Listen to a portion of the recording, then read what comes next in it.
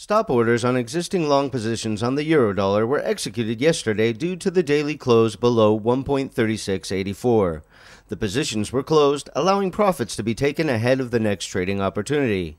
However, yesterday was another interesting day because the euro fell back to a low of 1.3640, coinciding with another support level, the 50% retracement of the February 13th candlestick. That level produced a significant bounce. Therefore, it could be a good time to open new long positions with a stop loss order below yesterday's low of 1.3640. The primary target is at 1.3773, a two week high, where a breakout would leave the path clear towards the 2013 high of 1.3893.